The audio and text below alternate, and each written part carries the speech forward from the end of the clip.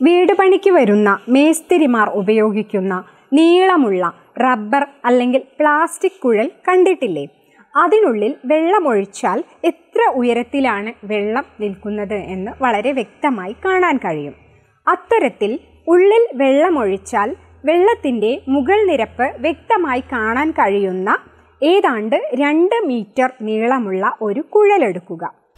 ജനലഴികളിൽ നിന്ന് യു ആകൃതിയിൽ അതിനെ കുത്തനെ കെട്ടിവെക്കുക. ശരിയായ യു ആകൃതിയല്ല ഒരറ്റം അര മീറ്ററും മറ്റേ അറ്റം ഒന്നര മീറ്ററും പൊക്കത്തിലാവട്ടെ. ഇനി ഉയരം കുറഞ്ഞ അറ്റത്തുകൂടി കുറച്ച് വെള്ളമൊഴിക്കുക. വളഞ്ഞിരിക്കുന്ന കുഴലിൽ ഇപ്പോൾ വെള്ളം നിൽക്കുന്നത് എങ്ങനെയെന്ന് ശ്രദ്ധിക്കുമല്ലോ.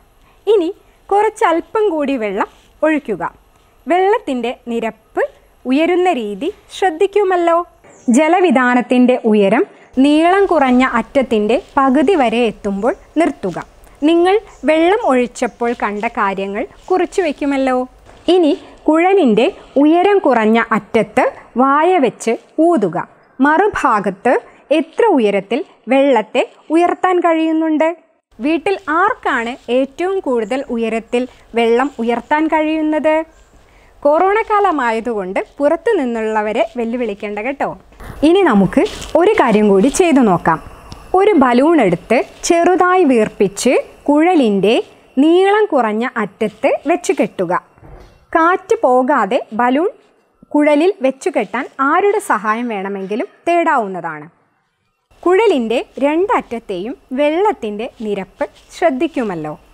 ഇനി ബലൂൺ എടുത്ത് കുറച്ചുകൂടി വീർപ്പിച്ച് വീണ്ടും കുഴലിൽ വെച്ച് കെട്ടുക.